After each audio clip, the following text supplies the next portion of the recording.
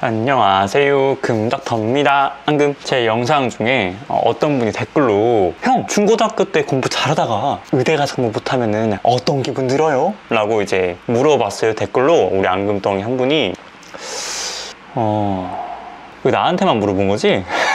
혹시 이거 무슨 의도니? 어? 어, 무슨 의도야? 아니 화 안 낼게 말해봐 무슨 의도야? 자다가 생각해보니까 뭔가 기분이 이상한 거야 내가 의대생 TV, 의대생 달지우, 뭐 심지어 닥신, 닥터프렌즈, 우리 동네 산부인과 같은 의사 유튜버, 의대생 유튜버를 다 봤어요. 근데 그 어디에도 그런 질문 안 하던데? 왜 나한테만, 왜 나만, 왜 나는? 전 좀 맞아야 해요. 아 나도 의대에서 공부 좀 잘했다고 할 걸 나도 좀 있어 보이는 척 좀 할 걸 아, 나도 좀 주작 좀 할 걸 그 홍진호님 아시죠? 야 야 이등도 이등도 잘한 거야 잘한 거야 아시죠? 두 번 말해야 되죠? 두 번 말해야 되죠? 그것처럼 저도 야 진급도 잘한 거야 형 의대에서 공부 못하면은 어떤 기분이야 라는 걸 답해드릴까 합니다 일단 가장 처음으로 든 생각은 더럽습니다 조금 두려워요. 나도 공부 좀 해가지고 나도 나름 이제 한 번에 간 사람이니까 근데 본과를 딱 갔는데 만족할 만한 성적이 전혀 나오지 않은 거예요. 그때 든 생각은 어? 기분 더러운데?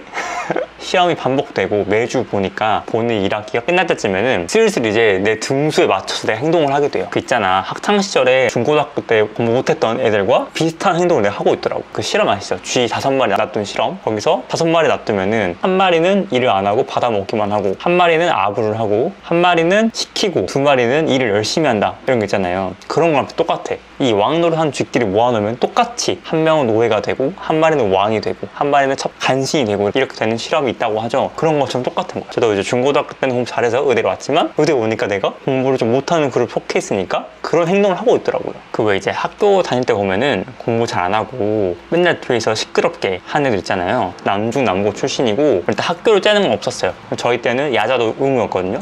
그래서 만약에 학교 수업을 짠다? 그러면 이제 다음날 병준이 형, 형 나가. 어, 학교 선생님한테 입을 찢긴 당해요. 남중 남고에 좀 예전이니까 어, 선생님들이 가차 없습니다. 학교 쨌다 이러면은 학교 째면 그냥 얘 인생인데 되게 고마운 거지. 다음날 와가지고 진짜 입을 째요. 제 의대 가서 제가 수업을 째고 있더라고. 금닥터 이러면 에 하고 나와요. 나오, 나오는 동기 보면은 이제 몇 명 나랑 친한 애들 있어요. 걔들이랑 같이 나와서 커피 한 잔 하면서 이야기 이런 이야기 저런 이야기 하고 그랬습니다. 근데 이게 제가 고등학교 때 공부를 하고 있다가 공부 못한 친구들이 와가지고 야 금닥터야 이거 좀 알려줘라고 하면은 알려줬어요. 알려주다가 애들이 계속 물어보면은 너무 쉬운 걸 물어보면 나도 야 이게 왜 이해가 안 되냐 이렇게 말했거든요. 그거를 똑같이 당했더라고 제가 의대 가서 1년을 휴학을 했으니까 후배죠. 후배인데 이제 동기죠. 동기의 동기. 이제 동기들이 근데 야나 이거 좀 알려줘 하면은 걔들은 동기인데도 제 선배니까 어 형 이거는 이건데 혹시 이해가 안 되세요?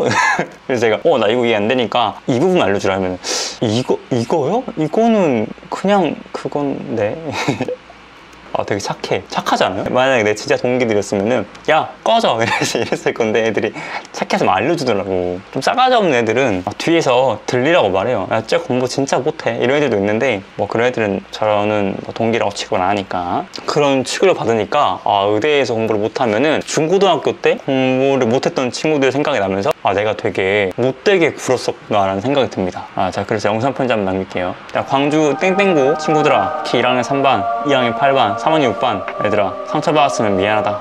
광주 땡땡 중학교 얘들아 니들은 공부 안 했으니까 미안한 거 없다 인정하지? 인정할 거 인정하자 저 말고 다른 뭐 사람들 중에서는 가정 형편이 갑자기 어려워지거나 뭐 가족이 뿔뿔이 흩어져야 된다거나 아니면은 갑자기 이제 우울증이 오게 되거나 이런 분들이 있었어요. 그러면은 그 사람들은 당장 의대 성적이 중요한 게 아니고 자기 몸 케어, 가족 케어 때문에 지금 미치잖아 성격이 미치잖아 마음이 그럼 성적이 곤두박질 치거든요. 아니 뭐 집이 박살나게 생겼는데 가족이 흩어지게 생겼는데 지금 공부가 뭔 상관이야. 근데 여기서 유급을 하면은 더 마음이 힘드니까 머리로는 진급을 해야 된다는 거 알아요. 막 그런 심리적인 게 안 되니까 집중이 안 되는 거야. 그런 사람들이 공부를 하는 모습 보면은 안타깝죠. 안타깝고 그럼에도 불구하고 진급을 잘 하는 모습 보면은 한편으로 존경스럽기도 하고 걔네들이 공부를 못하거나 유급을 당하거나 휴학을 한다고 해서 아 뭐 힘들었겠다 이런 생각이 들죠. 그리고 그러면서 한편 또 저도 한편으로 아 중고등학교 때 그런 것 때문에 힘들어서 공부를 못했던 친구들이 있었겠다. 아 걔네들한테 공부만 하면 돼 라고 했던 제가 되게 되게 좀 얄미웠을 것 같더라고요. 그런 생각이 들었어요. 그런 유급당하거나 그런 사람들을 많이 무시하진 않았어요. 그냥 아 얘가 뭔 일 있나? 이런 생각이 좀 들 더라고요 그리고 어, 내가 못하는데 내가 누구를 무시해 누구 침 뺏기야 아 나 오늘 아 거짓말이라도 공부 잘했다고 해야 되는데 아 자, 오늘 여기까지 여러분 손 잘 씻으시고 술 먹지 마시고 담배 피지 마시고 비타민 D 드세요. 오늘 여기까지 감사합니다. 안녕.